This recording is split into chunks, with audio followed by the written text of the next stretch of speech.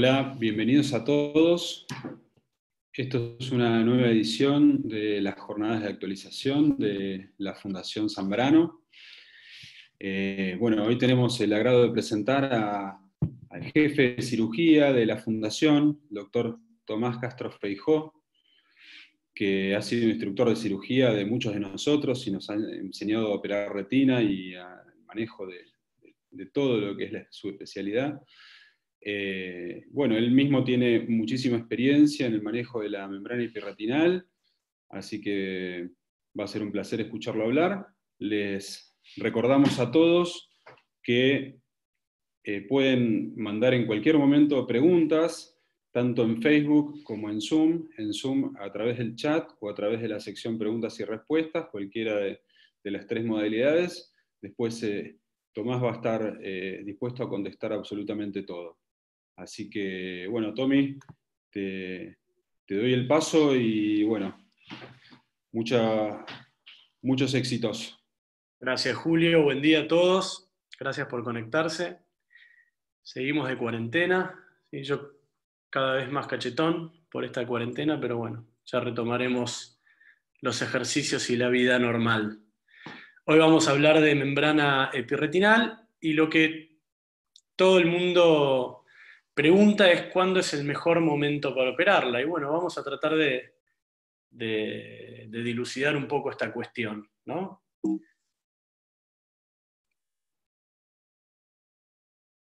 Entonces, ¿qué es una membrana epimacular? Es un tejido fibrocelular con propiedades contráctiles que va a crecer sobre el área macular. ¿sí? Hoy vamos a hablar de membrana epimacular idiopática. Sabemos que también se puede producir secundariamente a otras patologías como patologías vasculares, como diabetes, oclusiones venosas, secundario a trauma, secundario uveitis. Pero acá nos vamos a, referir exclusivamente a la membrana epimacular idiopática, o sea que no tiene una causa aparente o evidente para producirse. ¿sí?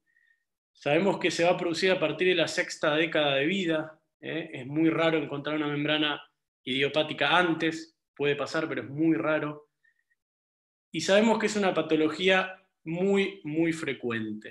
El estudio de Beaver Dam, que estudió una población de Wisconsin de Estados Unidos durante muchos años, desde el año, creo que empezó en el año 88, en el follow-up de los 20 años, ¿sí? llegaron 1.540 pacientes que les realizaron OCT, pacientes que venían estudiando de 1988. Y de, de esos pacientes, de 1540, 525 tenían membrana epimacular por la OCT, ¿sí? Y eso nos habla de este, entre un 30 y un 35%. Eran pacientes mayores de 63 años. Y cuando subdividían esos pacientes en menores de 75 y mayores de 75, todavía aumentaba hasta un 50%, ¿sí? Membranas evidenciadas por OCT. Hay otros estudios poblacionales grandes que los porcentajes son menores, pero se basan en fotografías, no en OCT. Este es el primer estudio que se basa en OCT. Realmente es un porcentaje muy alto de pacientes. Es una patología muy, muy frecuente y que la vemos muchísimo en la consulta diaria. ¿sí? Y tiene, en este estudio dio un 30% de bilateralidad. ¿Y cuáles son las, las preguntas que, que se nos vienen a la cabeza cuando estamos hablando de membrana epimacular. ¿Por qué se forman o cómo se forman? ¿Qué síntomas produce y por qué? ¿Cuándo indicar la cirugía? Que es el, punto clave, ¿no? que a todos nos, nos desvela. Vamos a ver cómo es la cirugía y cómo es la evolución postquirúrgica de estos pacientes. ¿sí? ¿Cómo se forman? Sabemos que esto empieza en, los cambios, en el envejecimiento que va sufriendo el ojo a medida que pasan los años. Por eso esta patología empieza a ser más frecuente a partir de los 60 años de edad. Sabemos que el vitrio cuando somos jóvenes está totalmente adherido a la mácula y que con los años se empieza a eh, debilitar las adherencias entre el vitrio y la retina y a eh, generar una licuefacción del cuerpo vitrio.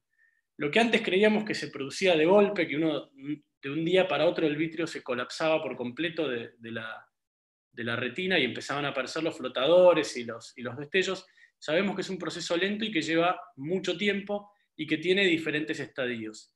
Y el primer estadio va a ser este, donde vemos que hay una separación del vitrio a nivel perifobiolar, pero permanece adherido a nivel de la fobia. Al siguiente estadio ya se libera de la fobia, pero permanece adherido en el nervio óptico y en el resto del globo ocular.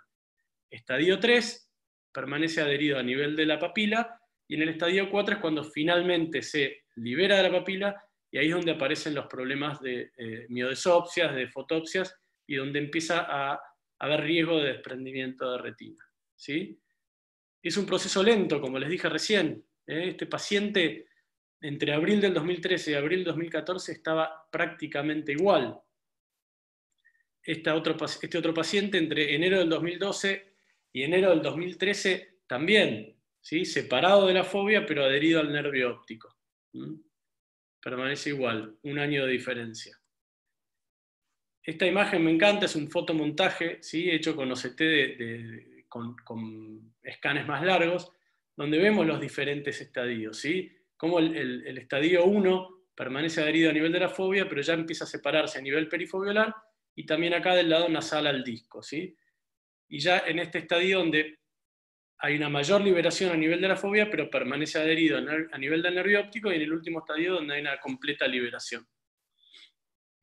Este trabajo de, de, habla de un concepto que hay que tener muy en cuenta para evaluar esta patología, que es el concepto de vitriosquisis. ¿sí?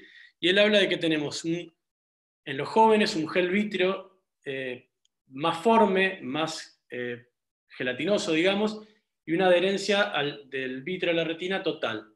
Con los años, el vitrio se empieza a generar eh, licuefacción y una separación del vitrio a nivel de la retina, que puede ser completa o normal o, sin patología, o puede ser anómalo.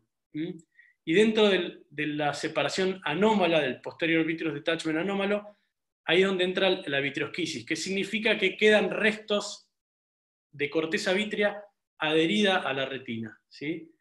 Aunque uno vea el anillo de Weiss, aunque uno vea que el vitrio se colapsó, quedan restos que a veces no se pueden ver en el fondo de ojo y a veces no se ven en la OCT, pero que están. Esos restos de, vitrio son los que se van a contraer y van a generar un Packer macular. ¿sí? Este es un paciente que operé la semana pasada de desprendimiento de retina y yo siempre tiño con, con triamcinolona para buscar a ver si quedaron restos vítreos adheridos a la mácula, que son los que después van a terminar eh, formando una membrana epimacular y contrayéndose. Y acá vemos que quedan restos de corteza vítrea teñidas con triamcinolona adheridos a nivel de la fobia. ¿sí? Acá ya está la limitante interna teñida con azul brillante y vemos estos restos de vitrio cortical que estoy tratando de despegar con esta pinza delimitante interna. Este es un paciente con desprendimiento de retina. ¿Mm? Entonces, ¿qué pasa? Tenemos un paciente joven, una mácula joven, el vitrio totalmente adherido, todas las estructuras maculares en perfecto estado, y comienza la separación, comienza el envejecimiento del ojo, el envejecimiento del vitrio, se separa el vitrio de la mácula. Y ahí es donde empiezan a, a entrar en juego los restos de vitrio cortical que quedan adheridos a nivel de la interfase vitrio-retinal y empiezan a aparecer células gliales, como células de Müller, y alocitos, que son células originarias de la corteza vítrea, que sufren una transdiferenciación y se generan en miofibroblastos, que tienen propiedades contráctiles. Y eso es lo que empieza a generar la membrana epimacular. Este trabajo de este grupo alemán hace un análisis de eh, membranas limitantes internas extraídas en, en toto y analizadas sin corte, sino en, plano. Entonces lo que se ven son los restos de corteza vítrea con células que empiezan a proliferar y a formar la membrana epimacular. Y al principio la membrana epimacular es difícil de diferenciar, se ve esta línea hiperreflectiva sobre, sobre la interfase vitreomacular y empieza a generar lentamente cambios en la arquitectura fobiolar. Acá vemos que solamente genera una leve rectificación a nivel de la fobia. Pero acá hay, acá hay membrana epimacular, acá hay membrana epimacular, pero estos son pacientes que tienen muy buena visión y la membrana generalmente no, no causa problemas. Pero con el tiempo eso va a generar problemas. ¿sí? Este es otro paciente también operado por un desprendimiento de retina, y lo que vemos ahí ya, una vez que está la mácula teñida con azul brillante, vemos cómo se ve la membrana epimacular cuando se está empezando a formar, ¿sí? antes de causar problemas. Y acá lo vemos con más aumento. Estas áreas que no tiñeron con azul brillante son membranas epimaculares. Recordemos, la membrana epimacular no tiñe con azul brillante. Entonces vemos estos islotes de membrana epimacular que están empezando a formar y eso con el tiempo van a ir creciendo y se van a ir extendiendo sobre el área macular y van a generar un pácar macular. Este es otro caso, también un agujero macular, ¿sí? de espesor completo, y donde vemos este gran islote de membrana epimacular que no tiñó con el azul brillante. ¿sí? A mayor aumento también se ve, incluso se empieza a ver cómo brilla el brillo especial que tiene la membrana epimacular sobre, sobre la retina. ¿eh? Y eso, con el azul brillante, vemos estos islotes. También vemos que hay a nivel del margen del agujero, acá hay otro más y acá hay otro más. Eso con el tiempo va a ir creciendo y va a generar eh, una gran membrana epimacular que se va a terminar contrayendo y alterando toda la arquitectura foveolar. ¿Sí? Esos inicios de membrana epimacular son muy difíciles de ver. Lo vemos bien cuando teníamos azul brillante, pero en la OCT incluso acá vemos la OCT que pasa por el área que, estaba, que no estaba tenido y vemos que es muy, muy, muy leve lo que genera, solamente una, es un poco más reflectiva la interfase a ese nivel, pero todavía no es, se ve una membrana epimacular evidente. Con el tiempo esa membrana va a ir creciendo y va a ir adquiriendo propiedades contráctiles y va a empezar a alterar la normal arquitectura de la fobia. Lo primero que va a producir es una rectificación de la depresión foviolar, como vemos en este caso. ¿sí? Vemos ya una membrana epimacular más evidente, bien hiperreflectiva, y que ya no tenemos depresión foviolar. Y a medida que sigue progresando, empieza a contraerse y empieza a arrugar la superficie interna de la retina y vemos cómo se empiezan a engrosar las capas internas de la, de la mácula. ¿sí? Acá tenemos que mirar las capas internas. Los fotorreceptores van a estar conservados hasta estadios bien avanzados de la enfermedad. Pero el problema está en las capas internas, de plexiforme interna a limitante interna.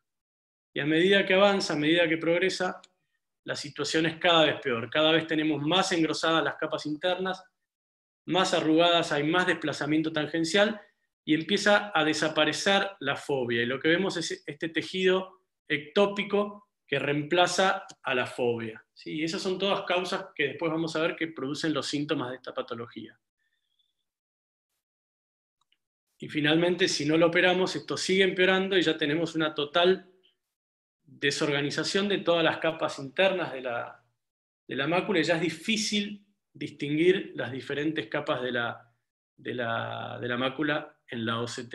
¿sí? Esto ya es un estadio muy, muy avanzado con, e incluso empieza a alterar a los fotorreceptores. Ahora sí tenemos alteración a nivel de los fotorreceptores. Generalmente, bueno, hay dos patrones de, de, membrana epimacular. La gran mayoría va a ser este patrón de la imagen inferior, donde no vemos el, perfil foviolar, donde el perfil foviolar ya está alterado desde, desde los inicios, ¿sí? pero tenemos algunos patrones de crecimiento donde respetan el área foviolar y vemos que se sigue manteniendo un perfil foviolar.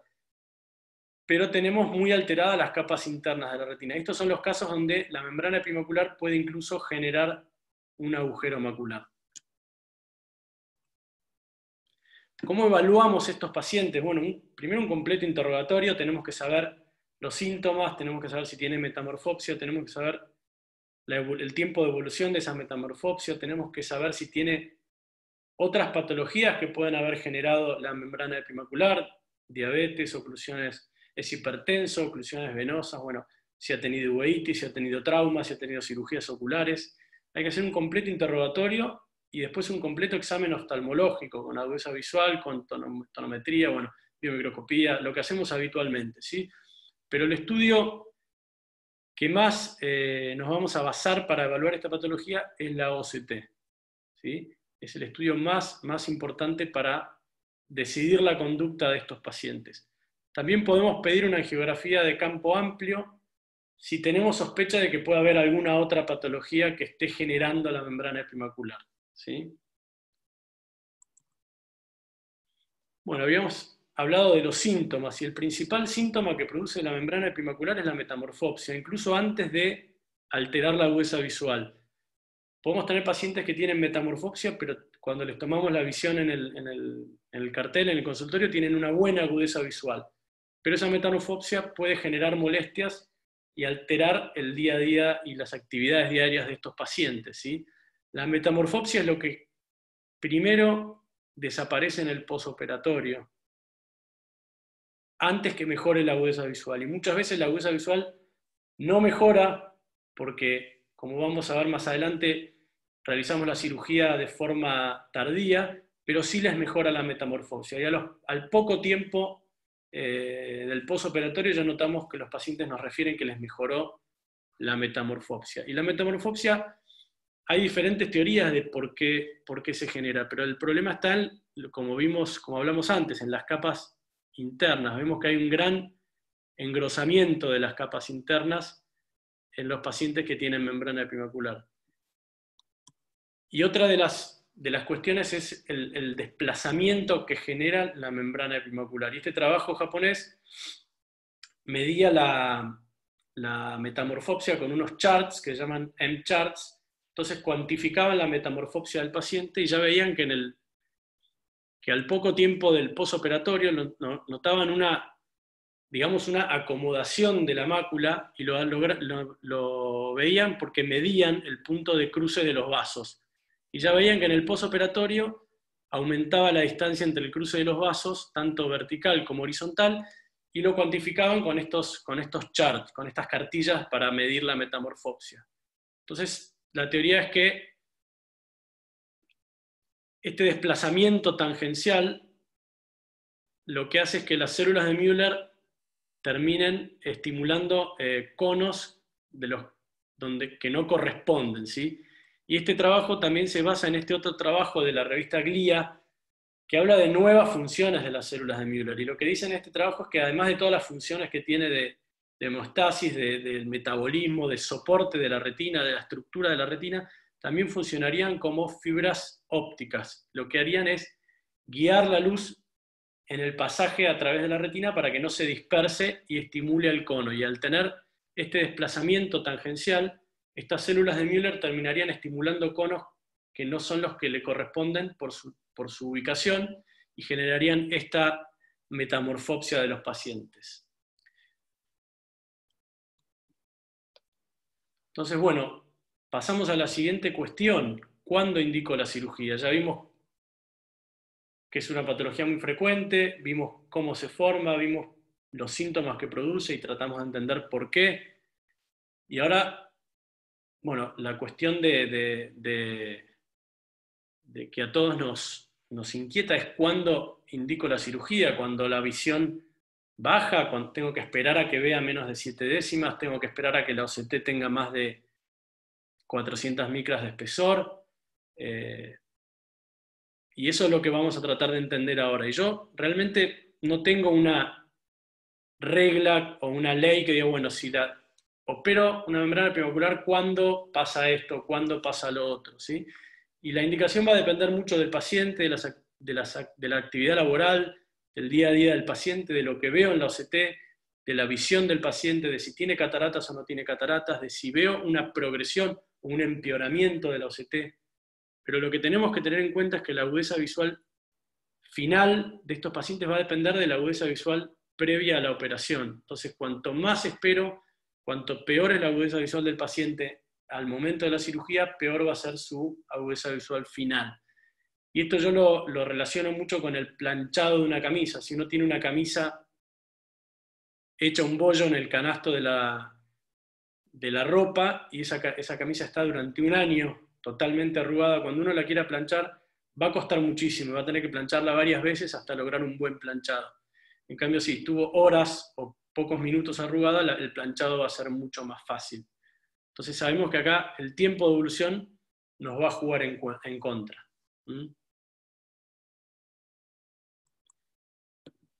el último tiempo aparecieron trabajos tratando de, generar una clasificación de la enfermedad que nos ayude a la hora de indicar la cirugía. ¿sí? Y el grupo de, Andrea Gobeto presentó esta clasificación ¿sí? en cuatro estadios y se basan en la presencia del el ectopic inner foveal layer, que se empezó a hablar mucho en los últimos años. Y es lo que habíamos visto, que una vez que, desaparece, el, se rectifica el perfil en la depresión foveolar, aparece un tejido ectópico y desaparece la fobia. Toda esa, recuerden que la fobia es, hay como una liberación, un eh, desplazamiento de las demás capas de la retina para que la luz pueda incidir directamente sobre los conos de la fobia sin tener ninguna interferencia.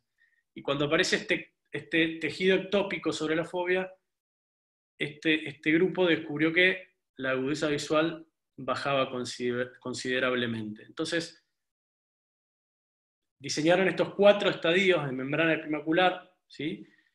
y el primer estadio es la presencia de la, de la membrana epimacular pero todavía persiste en la depresión foveolar. Puede estar alterada, puede estar rectificada, puede no ser un perfil normal, pero todavía, pero todavía existe. Ya en el estadio 2 desaparece el perfil foveolar, el pit foveolar, pero todavía tenemos bien definidas las, las capas de la retina interna. Y del estadio 3 es cuando aparece este tejido ectópico. ¿sí? Ahí ya se llama ya pasa al estadio 3 y ahí realmente en, este trabajo retrospectivo que hizo este grupo demostraron que del pasado, pasando del estadio 2 al estadio 3 bajaba mucho la agudeza visual en estos pacientes. Y finalmente en el estadio 4 lo que se agrega es una o sea, desaparición o ya no podemos distinguir las capas de la, de la retina interna, de la mácula interna en el estadio 4. ¿sí? Y ahí obviamente bajaba muchísimo, muchísimo más la, la agudeza visual. Después este grupo, basado en la, clasificación que hizo Gobeto, evaluó pacientes eh, retrospectivamente, pero pacientes pseudofáquicos, para, que, para ver cuál era la evolución de la agudeza visual en el posoperatorio y no tener la catarata como un factor que influya en esa agudeza visual posoperatoria. Entonces eran 88 pacientes eh, pseudofáquicos clasificados según los, cuatro estadios que acabamos de ver. ¿Sí? los, cuatro estadios según la presencia o no la presencia de la, de la, retina, de la ectopic inner foveal layer. Y obviamente lo que vieron es que, obviamente el estadio 1 no se operaba, pero entre el estadio 2 y el estadio 4, la visión desde el punto de partida era mejor en el estadio 2 y a nivel de todos los controles mensuales, ¿sí? hasta los 12 meses, resultó ser mucho mejor la agudeza visual cuando operaban en el estadio 2 que en el estadio 3 o que en el estadio 4. Y eso es un poco lo que ya veníamos viendo, pero lo ponen en números y lo cuantifican. Entonces ya esto es como un poco más de, un sustento para decir, bueno, estos pacientes hay que operarlos antes y no hay que esperar que empeore la visión para operarlos porque después vamos a tener peor visión en el posoperatorio. ¿sí? Y obviamente los, cuando el porcentaje de pacientes que tuvieron una agudeza visual mejor a 20-40, de los operados en el estadio 2 eran casi el 90% y los operados en el estadio 4 eran menos del 10%. Un poco eh, avalando lo que venimos diciendo. Vamos a ver algunos casos para tratar de entender cómo, llegamos a, la indicación quirúrgica en estos pacientes. ¿sí? Y por ahí lo que en un paciente me ayuda a indicar una cirugía, en otro paciente no, porque el paciente tiene otras actividades o porque el paciente no le molestan los síntomas. Entonces vamos a ver un poquito, un poquito algunos casos para entender un poco más cuándo hay que indicar una cirugía o cómo, por lo menos cómo pienso yo cuando hay que indicarlo. ¿no? En esta paciente vemos eh, una membrana epimacular, pero que apenas, apenas altera el perfil foveolar. La paciente tiene, tiene 10 décimas, no tiene catarata. Esto es junio del 2017, obviamente no indicamos la cirugía.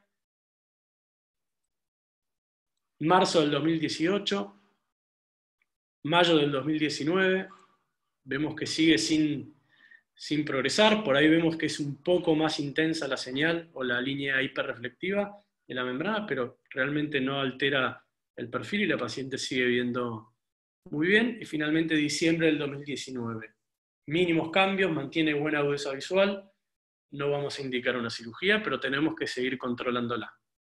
Sabemos que esto va a progresar con el tiempo.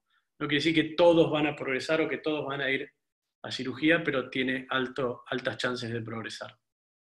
Pero con pautas de alarma y con un control por ahí cada seis meses con una OCT, yo creo que esta paciente va a andar bien. Esta es otra paciente de 86 años, pseudofáquica, muy buena agudeza visual, mínima alteración de la arquitectura. Vemos que está la membrana epimacular, ¿sí? se ve mejor en este corte. Incluso en la imagen de infrared vemos los pliegues que genera. ¿eh? Pero la verdad que la alteración que genera de las capas internas es mínima. La paciente no tiene eh, ningún síntoma, no le molesta absolutamente nada. Obviamente no la vamos a operar, la seguiremos controlando. Es muy probable que por la edad esta paciente no creo que necesite cirugía. Por ahí sí, por ahí no. Y acá empieza a, influir la catarata. ¿no? Este es un paciente de 69 años de edad, tiene 6 décimas en este ojo y tiene una catarata nuclear tres cruces. El paciente no refiere metamorfopsia. La membrana es evidente, ya rectifica el perfil foviolar, podemos decir que es un estadio 2 de la clasificación que vimos recién. Y es un paciente que quizás si no tuviese catarata tendría mejor visión, por ahí 9 hasta 10 décimas. Pero lo tenemos que operar de catarata. Entonces en estos casos yo generalmente al paciente le planteo la situación. Podemos operar todo junto, hacer la catarata y hacer la membrana y uno se olvida del problema, o podemos operar solo la catarata y después seguir controlando la membrana epimacular con la posibilidad de que en un poco tiempo tener que volver a entrar a quirófano. Y la verdad que la mayoría de los pacientes eligen hacer las dos cosas juntas, ¿sí? pero no es algo que yo lo imponga, por lo menos en estos que son estadios iniciales y que no hay gran alteración a nivel de la arquitectura. ¿no? Y se operó de facovitrectomía, la verdad que recuperó muy, muy buena visión, pero vemos que no queda, no vuelve a tener un perfil foviolar normal como tenía con anterioridad, ¿sí? O como pudo haber tenido antes. Pero recuperó muy, muy buena visión y el paciente ya se olvida del problema de su mácula y ya es una cosa menos para controlar. ¿Mm? Este es otro paciente, ya es pseudofáquico, tiene una muy buena agudeza visual, tiene ligera metamorfopsia que él refiere que ya la tiene hace tiempo, pero que no le molesta y no le altera para nada en su actividad diaria. El paciente eh, no quiere operarse, yo le hablé de la cirugía, el paciente no quiere operarse, lo controlamos noviembre del 2017, febrero del 2018, mayo, noviembre y finalmente diciembre del año pasado. Cambios mínimos, ¿sí? si es que hay, es mínimo el cambio. Vemos que es un estadio 2, quizás 3, porque vemos que hay eh, tejido ectópico. Igualmente habría que, hacer, habría que ver todos los cortes de la estrella y hacer varios cortes para, porque a veces el corte no puede, puede que no pase por el centro de la fobia y, creer que esto es tejido ectópico y en realidad estamos haciendo el corte un poquito eh, desplazados a la fobia. Pero así todo, sea estadio 2, sea estadio 3, el paciente no quiere operarse y tiene muy buena visión y realmente en estos dos años no ha habido casi progresión de la, de la membrana epimacular, igual hay que seguir controlándolo. El paciente es eh, relativamente joven y tiene muchos años por delante y hay que seguir controlándolo. Este es otro paciente, 72 años, catarata nuclear leve de dos cruces y una muy buena agudeza visual. Vemos ya en el primer scan que hay una leve membrana epimacular, una leve rectificación, por ahí en este corte no se ve, pero vemos que está levemente rectificado el perfil, el perfil foviolar. Seis meses después la agudeza visual baja a 8 décimas, ¿sí? ahora sí ya vemos exactamente el mismo corte, pero vemos la membrana epimacular, vemos cómo casi desapareció por completo la depresión foviolar, ¿sí? vemos ya más alteración y más engrosamiento a nivel de las capas internas, y lo que yo decía de, tenemos documentada la progresión, sé que en seis meses empeoró, este es un caso que yo no lo voy a, seguir esperando, yo le voy a indicar la cirugía en ese momento. ¿sí? Y este es el control al mes posoperatorio y el paciente recuperó eh, las, las 10 décimas de visión.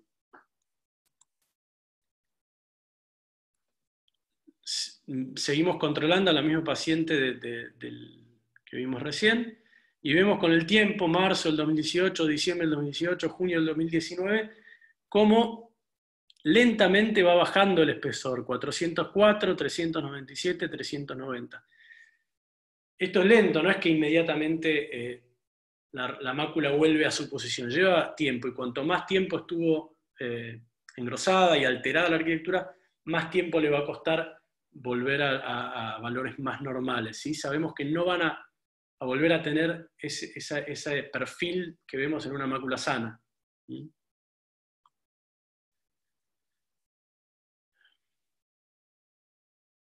Otro paciente, 72 años, refiere metamorfopsias de dos años de evolución, agudeza visual siete décimas, catarata nuclear dos cruces. Estos son los scans eh, preoperatorios, ¿sí?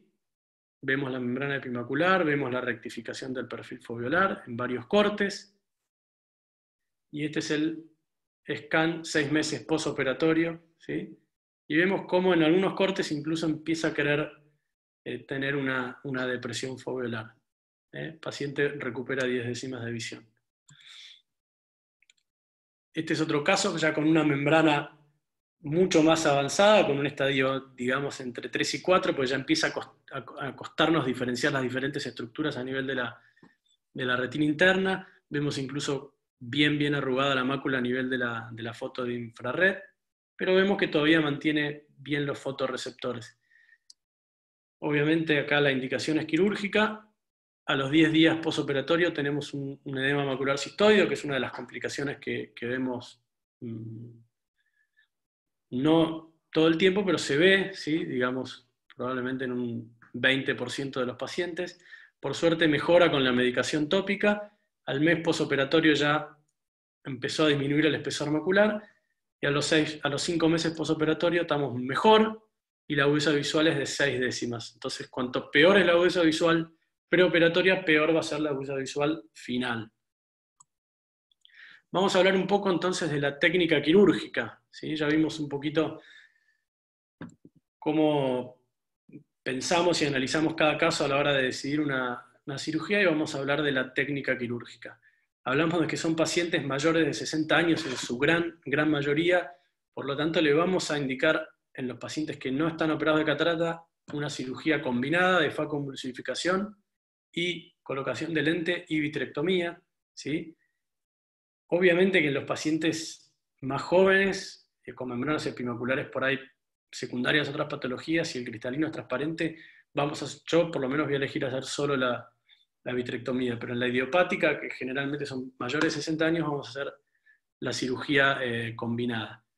A mí me gusta hacer primero la FACO antes de colocar ningún trocar, coloco la lente y después coloco los trócares. Hacemos vitrectomía central y periférica, no hacemos shaving de la base vítrea, no hace falta, no hay patología de la base vítrea.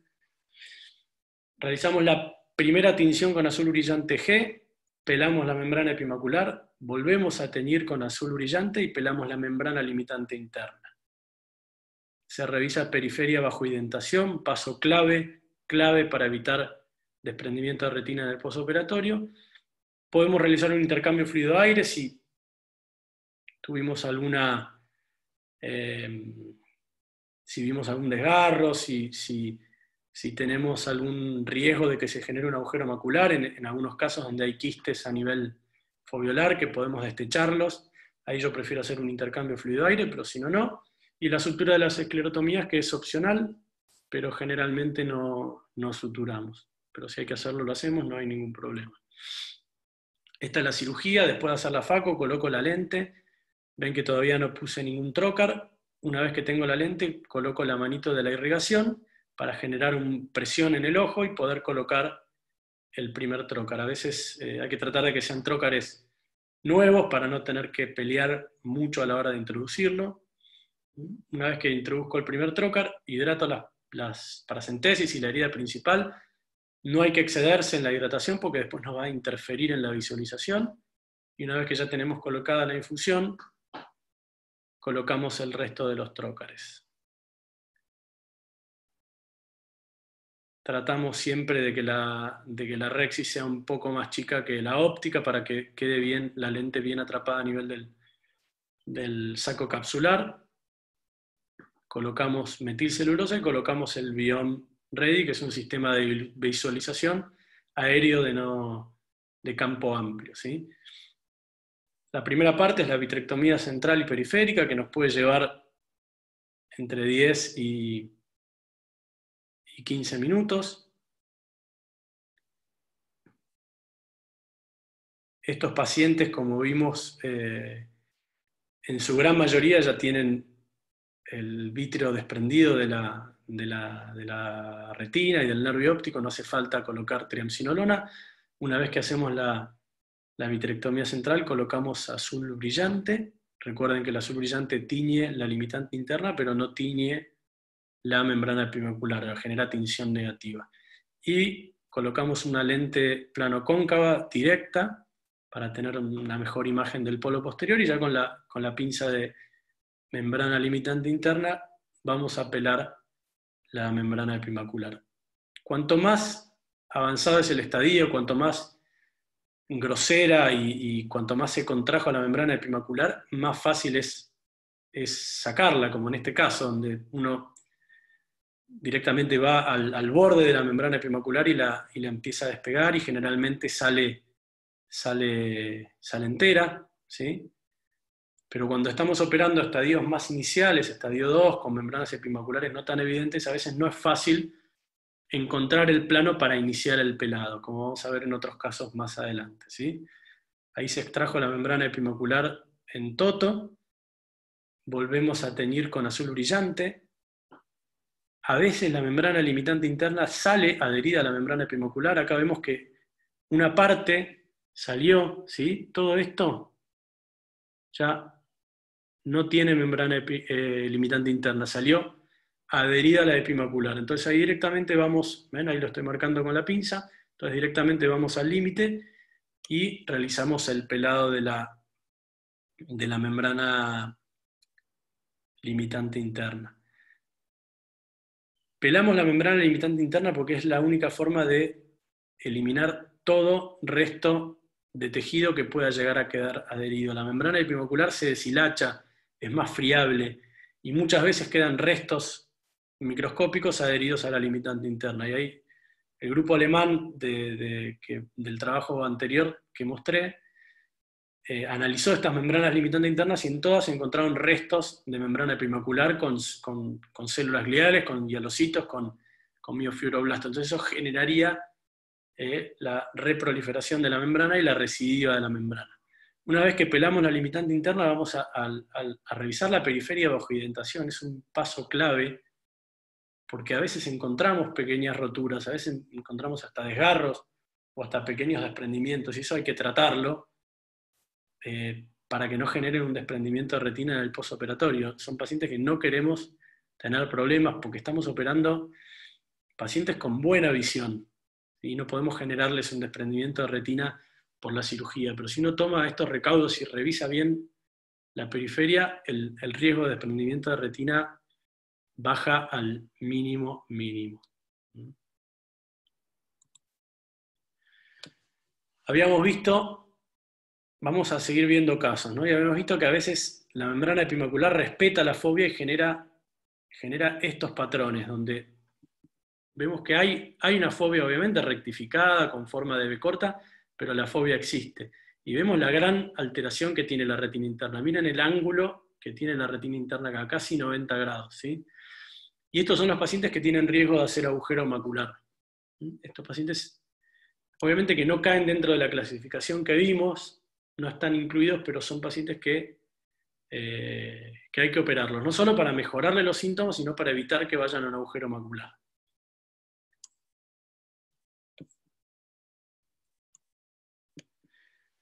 Y ahora vamos a ver que acá ya hicimos la vitrectomía, ya teníamos con azul brillante y vemos que incluso el aspecto al fondo de ojo es como si fuese un agujero macular, parece un agujero macular.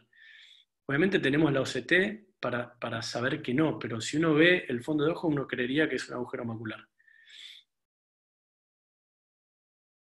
Acá ven que la, membrana epimacular no sale entera y en bloque como salió en el, caso que mostramos anteriormente. Acá es como que se va se va deshilachando y uno se va quedando con pedazos de membrana, es mucho más friable.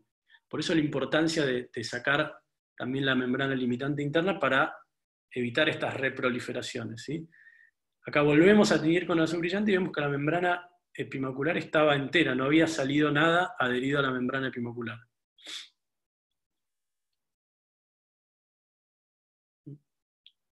Terminamos de pelar la membrana limitante interna. Obviamente revisamos bien la periferia, eso lo hacemos en, todos, en todos los pacientes. Y esta es la evolución posoperatoria. Si 10 días postquirúrgico había mejorado muchísimo el aspecto, todavía había cierta separación a nivel de las, entre la plexiforme interna y la, y la nuclear interna, pero a los cuatro meses ya prácticamente desapareció por completo y la verdad que tuvimos una muy, muy buena evolución con una muy buena agudeza visual final. Este es otro paciente, 67 años, pseudofáquico, con 10 décimas de visión y 6 meses después vemos cómo empeoró ¿no? una membrana epimacular que era muy leve, con, leve alteración de, de la interfase, y en poco tiempo ya tenemos una evolución con desaparición del perfil foviolar y ya vemos bien, bien evidente la, membrana epimacular y la agudeza visual le bajó a 8 décimas. Ya tengo documentada una, progresión de la enfermedad, disminuyó la visión, este paciente va a cirugía, ¿sí? Teníamos con azul brillante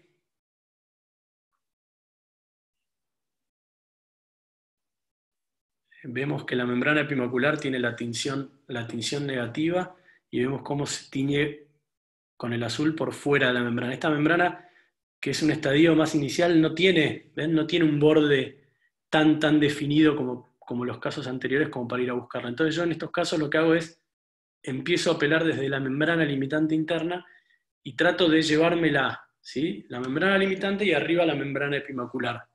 Porque ir a buscar esa membrana epimacular sola es más difícil. No hay un, límite bien definido y es más difícil. Entonces es mucho más práctico ir a pelarlo desde la membrana limitante interna como si estuviéramos operando un agujero macular.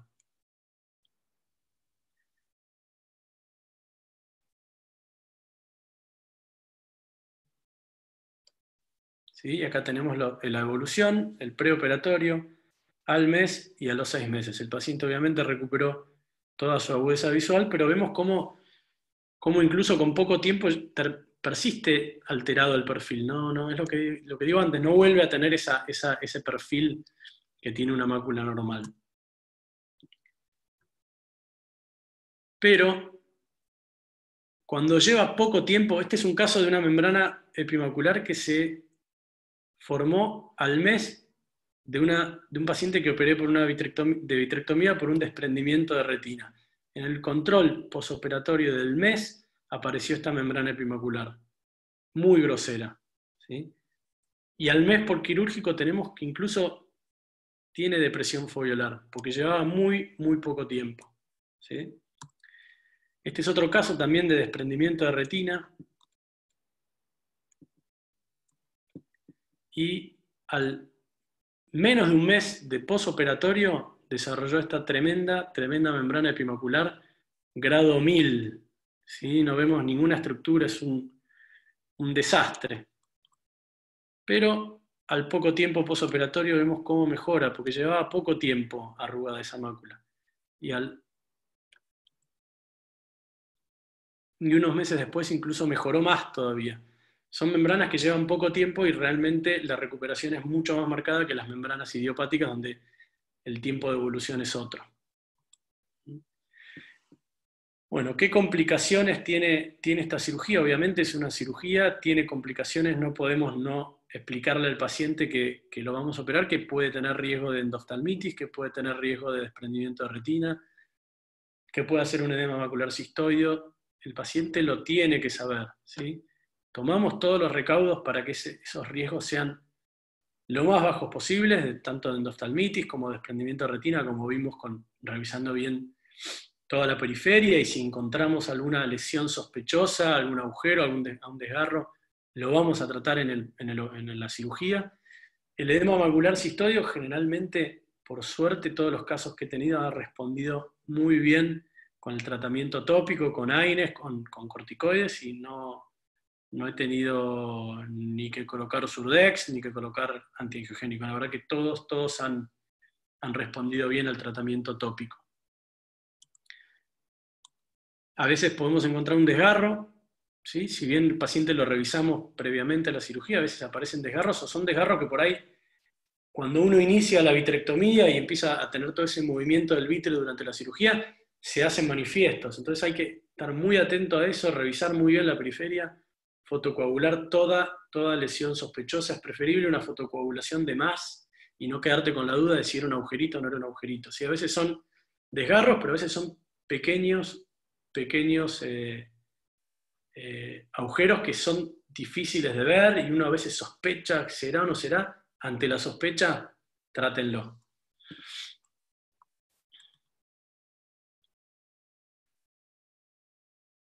Bueno, algunos, algunos casos más. Eh, este es un caso que desarrolló un edema, un edema en el posoperatorio inmediato y respondió muy bien al tratamiento tópico como suele suceder.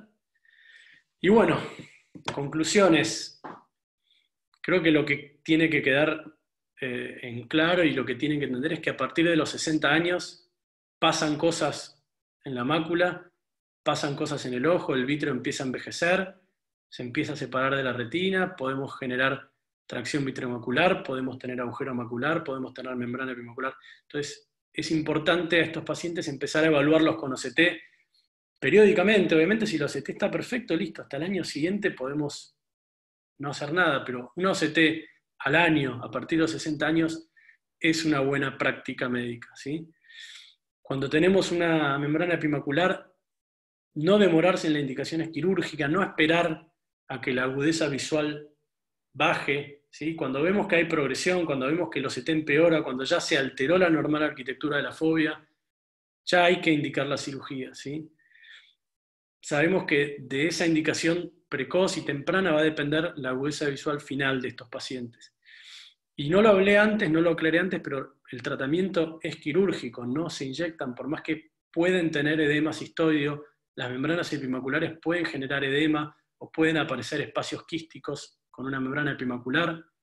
Ese edema no es producto de una, de una pérdida de líquido de los vasos, sino es por la tracción. Entonces, no se inyecta en estos pacientes, el tratamiento es quirúrgico. Muchas gracias. Bueno, Tommy, excelente la presentación, muy clara y muy concisa.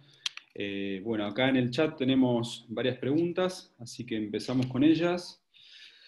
Bien, pregunta, bueno, no tiene nombre, dice, hay varios trabajos que están evaluando la el electroretinograma multifocal como estudio pronóstico para las cirugías por membrana, si tenés alguna experiencia. No, no tenemos, no tenemos experiencia con el electroretinograma multifocal. Sí he leído trabajos. También he leído trabajos en el posoperatorio para evaluar si realmente pelar la limitante interna genera algún daño. Recuerden que la limitante interna es parte de la, de la retina y la estamos extrayendo. Entonces, hay trabajos donde le hacen electroretinograma multifocal en el postoperatorio y realmente no hay, no se demuestra que, pelar la limitante interna genere daño en el, en el neuroepitelio, pero para evaluarlos previamente no, no tengo experiencia ni, ni he leído trabajo. Pero creo que no es algo que necesitemos hacer, que yo creo que con la OCT y el examen oftalmológico completo tenemos suficientes herramientas como para decidir cuándo hay que operar a estos pacientes. Bien, acá hay dos preguntas respecto a algo que dijiste recién, te, te las digo así si quieres remarcar. Eh, Juan Manuel Sánchez pregunta, ¿qué opinas de la inyección de Surdex al momento de la cirugía? Y Gabriela Verdi pregunta si utilizas anti-VGF en algún momento. No, eh, Osurdex al momento de la cirugía no, lo, creo que no es necesario. Eh, realmente no, no son pacientes que uno vea que tengan mucha inflamación en el posoperatorio, no hacen sinequias, no hay tindal. El posoperatorio es muy similar si hacemos una faco solo que si hacemos una faco vitrectomía. Hay un pequeño porcentaje que van a hacer un edema cistoideo y repito, todos respondieron al tratamiento tópico. No he tenido que hacer ninguno surdex por un edema cistodio que no, que no resolvía con el tratamiento tópico.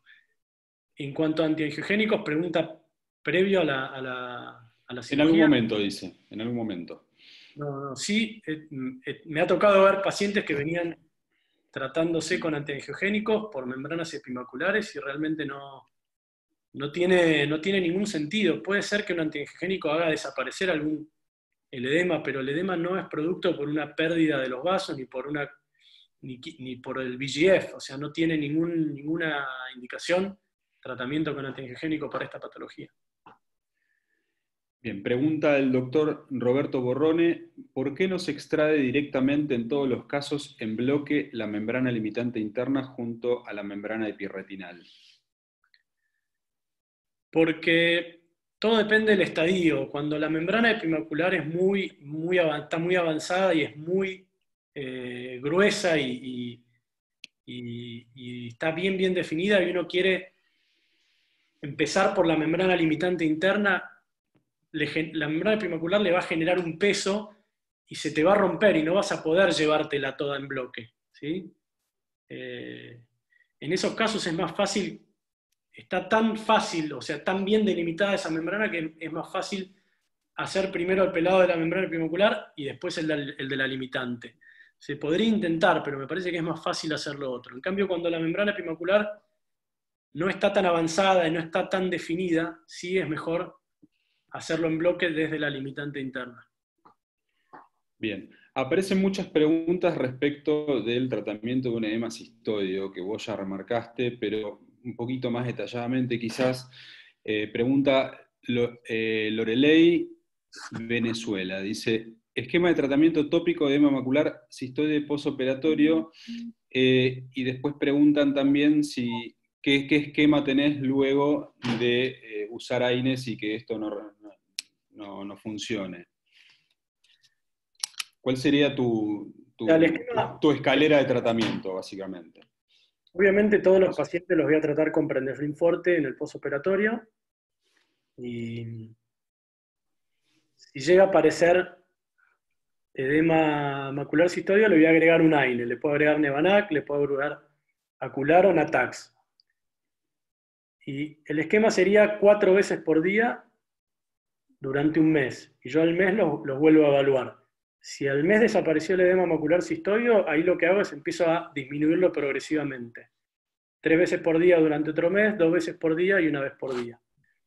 Em, repito, no, no tengo pacientes que no hayan respondido al tratamiento tópico, pero creo que si no responde, creo que el siguiente paso sería colocar eh, uno Surdex. Perfecto. Perfecto. Acá pregunta la doctora Ana Domínguez Yates, con respecto al caso que mostraste al principio de Facovitre en una paciente con membrana estadio 2 y poca deformación macular. ¿La elección es siempre lío monofocal? Sí. Sí, sí, sí. Yo... Mm, eh, estos pacientes siempre con lente monofocal no, no. Hace poco empecé a colocar también lentes multifocales, pero no los coloco solamente si tengo una, una mácula impecable, eh, porque realmente no sabemos también cuál, cuál va a ser la evolución, si va a quedar algo de metamorfopsia. Yo prefiero, en estos pacientes, prefiero ir a lo seguro y colocar un lente monofocal. Bien, pregunta Sil Robledo, ¿un síntoma precoz puede ser cambio en la visión de los colores? No, generalmente no lo, no lo, yo por lo menos no lo escucho de los pacientes que sean los síntomas precoces. Generalmente el primer, el primer síntoma es la metamorfopsia. Bien, el doctor César Atencia dice, quería preguntar por el mejor momento en tratar el edema persistente luego del pelaje de membrana epirretinal, o sea, el mejor momento para tratarlo. Es decir, en cuánto tiempo trata después de la cirugía un edema macular secundario. Yo creo que se refiere a que toda cirugía se espera que tenga algo de edema y cuándo deducir que esto es una resistencia. Igual creo que lo contestaste un poquito, si quieres remarcarlo de vuelta. A ver, podemos tener un poco más de edema, o, incluso en el posoperatorio inmediato puede estar un poco más engrosada la mácula por, el hecho de, la tracción que se genera al despegar. Pero ese, ese pequeño edema empieza a resolver con el tiempo. Yo hablo de un edema que aparece eh, mucho peor de lo que venía evolucionando el ojo. Pero en cuanto aparece el edema, inmediatamente hay que empezar a tratarlo, no, hay un... en cuanto aparece. Bueno, si veo que hay alguna pregunta distinta que no hayas contestado, te la digo. Ya si aparece alguna del mismo tema, ya creo que respondiste todo respecto de eso. Espectador anónimo pregunta, ¿usaste en algún caso para tinción azul tripán o tinción combinada? El Brilliant Blue, el, el Dual Blue. No, no, no, no, no, no tengo experiencia con el, con el dual, con el que combina eh, brillante y tripán de Dork, usamos siempre azul brillante.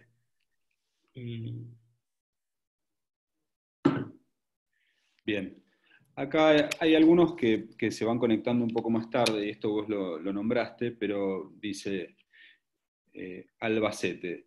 Paciente con membrana epirretinal y fobia correcta que se le va a operar solo la catarata. ¿Modifica el tratamiento posoperatorio? O sea que tiene una, membrana de estadio 1, que es lo que deduzco de la pregunta, y que, y que se va a operar solo la catarata. ¿Modificás el, el tratamiento posoperatorio pensando en la presencia de esta membrana estadio 1? No. Bien. Vamos a ver si aparecen. Acá hay algunas preguntas que van apareciendo ahora. ¿Cómo manejás complicación de lesión retiniana al retirar eh, la membrana epirretinal en la región paramacular. ¿Cómo? No entendí, a ver. ¿Cómo manejas complicación de lesión retiniana al retirar, o sea, si se te calculo que... Una lesión que puede haber generado con, Sí, al retirar una membrana en la región paramacular. ¿Cómo manejas complicación de lesión retiniana al retirar membrana en región paramacular. Eso es lo que dice textual la pregunta. No, por ahí se refiere a si hay que hacerle láser o no hay que hacerle láser. Bueno, sí. Eh, que, especifique, un poquito más y ahí le contestás de última. Sí, si uno, uno puede tener alguna lesión. Eh, sí, a eso dice. por, a eso. Porque el paciente se puede haber movido, se puede haber. o puede haber tosido o algo. Son lesiones que uno, obviamente, toma todos los recaudos y trata de que eso no pase, pero puede pasar, sobre todo en la, curva de aprendizaje. Perdón. No hace falta tratarlas con láser, son lesiones que van a, cicatrizar sin problemas. Por ahí, en esos casos sí hago un intercambio fluido-aire y lo dejo unos días boca abajo, pero no, no, hace, falta, no hace falta hacerle láser. Son lesiones que uno se asusta mucho y cree que, después van a, va, a ser un, horror, un desastre, y por ahí después en el posoperatorio cicatriza y obviamente le va a quedar un escotoma, pero no es, no es tan grave como uno cree en ese momento, ¿sí? Pasa en la curva de aprendizaje, nosotros que, vos lo sabés Julio, que, somos instructores, eh, si bien tomamos todas las medidas para que no pase, a veces pasan y por eso es una, yo hablo de, ser una indicación precoz, pero obviamente uno que está aprendiendo a operar membranas epimoculares tiene que empezar con los estadios más avanzados. Eh, y una vez cuando ya está canchero y ya la cirugía es reproducible y, uno está muy cómodo con lo que hace, uno puede ir operando cada vez en estadios menos avanzados. Pero bueno, espero haber contestado la, pregunta. Bien, pienso que sí. Ahora, el doctor Joaquín Saleme hace una pregunta que es un tema recurrente de discusión en, en los congresos. Dice, Excelente, Tommy, todo muy claro. Una pregunta en pacientes con DR. ¿Aconsejás el pelaje de limitante para evitar la formación de membrana epirretinal posquirúrgica y volver a entrar al paciente? O sea, el desprendimiento de retina, ¿operás la membrana o solamente haces el desprendimiento de retina? Membrana no, perdón, limitante. Pelás limitante de rutina. De rutina no. De rutina no. Trato siempre de tener una OCT previo a la, cirugía del desprendimiento de retina, cuando se puede, obviamente, a veces hay bolsas tan grandes que no se puede. Trato de tener una, una OCT previa. Eh, obviamente que en los pacientes con redesprendimientos, con PBR, los desprendimientos de retina más antiguos, ahí sí lo voy a hacer de rutina, pero un desprendimiento de retina nuevo, con poco tiempo de evolución, no lo voy a hacer de rutina. Eh, sí los casos que mostré hoy, que son los que operé la semana pasada, eh, lo que hice fue teñir con azul brillante, que eso podría ser una alternativa cuando no le podés hacer una OCT, teñirlos con azul brillante y ver qué pasa. Y justamente en esos dos casos había ya membrana epimacular que se estaba empezando a formar. Entonces en esos casos sí eh, les, pelé la membrana limitante interna. Pero no de rutina, porque no, realmente los casos que mostré de membrana en el postoperatorio inmediato de DR es, raro, no, suele suceder. La gran mayoría eh, no va a desarrollar una membrana epimacular que necesite una nueva cirugía. ¿sí? Son pocos los casos, pero no está mal tener una OCT previa y teñir con azul brillante como para ver si vale la pena realizar ese pelado o no. Perfecto, Tommy. Yo te hago una pregunta que va más allá dentro del mismo tema. Eh, cuando vos elegís pelar una membrana o la limitante interna y la membrana en un desprendimiento de retina, ¿lo, haces, ¿lo haces bajo perfluorocarbono o lo haces sin perfluoro? Lo que hago cuando tengo que pelar el limitante y está la retina desprendida es eh, hago un, inicio del pelado sin perfluorocarbono, hago un pequeño flap de limitante interna sin perfluorocarbono y después coloco perfluorocarbono y termino de pelarlo. Me cuesta mucho iniciar el pelado bajo perfluoro, por eso lo hago antes. Pero una vez que tengo ya un flap, coloco el perfluorocarbono y, y realizo el pelado y la verdad que es bastante, bastante más sencillo que hacerlo sin perfluorocarbono. Perfecto. Eh, bueno, acá preguntan ya cosas que contestaste. Bien, déjame ver si aparece alguna pregunta acá. Bien, Mauro Gaidolfi pregunta, ¿suspendés anticoagulación o antiagregación previa a operarla en una membrana? Sí, si, nos autoriza su clínico y su cardiólogo y su hematólogo, lo, suspendemos. Perfecto. Bien, antes de pasar a las preguntas de Facebook, yo te hago un par de preguntas. Eh, ¿Cuál es tu límite para pelar la limitante? O sea, vos pelás lo mínimo indispensable o tratás de llegar a, las arcadas? ¿Cómo, ¿Cómo es tu extensión de pelado? En la membrana epimacular trato de ir hasta las arcadas. En el agujero macular, menos menos, pero en la membrana epimacular trato de ir hasta las arcadas porque a veces donde vos dejás membrana limitante interna es donde puede volver a crecer una, membrana epimacular. Entonces, en estos casos, que lo que no queremos es que vuelva a la membrana epimacular, hago un pelado más extenso. Bien. Perfecto. Esto, esta pregunta que te hago, te la hago para lo que muchas veces algunos pacientes que son más puntillosos esperan, que es que vuelva la depresión foviolar, porque uno le muestra las imágenes al paciente y dice por ahí muchas veces, pero no volvió la depresión. ¿Vos esperás que vuelva la depresión foveolar en un, paciente que vos operás de membrana? No, no, es raro que vuelva, no, no. Yo se los digo de, de antemano. Esto no va a volver a ser, y generalmente usás el otro ojo para decirle, mire, esto no va a volver a ser esto, nunca. Pero realmente eh, mejoran, tardan, ¿no? lleva su tiempo, tardan meses y hasta años, y sigue mejorando, pero no vuelve la depresión. Es muy raro que vuelva la, la depresión foveolar, salvo el caso que mostré que, estaba respetada, que la membrana epimacular respetaba la, la fobia. Pero si no, es muy raro, muy raro. Pero realmente los pacientes recuperan muy buena visión y la metamorfosia desaparece casi en su totalidad. Siempre los pacientes dicen, mm, veo muy bien, pero no, no veo tan bien como con el otro ojo. Algo, algo queda, obviamente. Pero cuanto más tiempo esperamos en indicar la cirugía, cuanto más tiempo de evolución tiene esa membrana, peor va a ser la, la agudeza visual final y peor va a ser la metamorfosia residual que les quede al paciente. Bien, también tenemos esos pacientes que recurren al oftalmólogo cuando la, membrana ya avanzó mucho. Entonces, acá hay una pregunta que aparece del doctor Federico Montes, que dice, em, si dejo, siempre conviene esperar mucho a una membrana estadio 3 si no progresa. O sea, si vos tenés una membrana que ya está avanzada, pero vos no constatás que haya empeorado la visión en el último año, los últimos dos años, ¿vos la tocas o no la tocas? Depende mucho del paciente también, pero, o sea, yo cuando ya está alterada la, cuando ya hay alteración del perfil foveolar, yo indico la cirugía.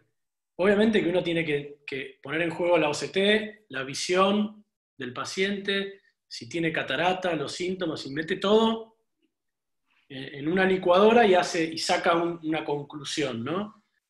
pero generalmente estadio 3, y, lo demostró muy bien ese trabajo, hay que operarlos, hay que operarlos, pero bueno, puede ser, como el paciente que mostré, que creo que era un estadio 3, y el paciente tenía una, visión bastante buena y, no quería operarse, bueno, no lo voy a operar.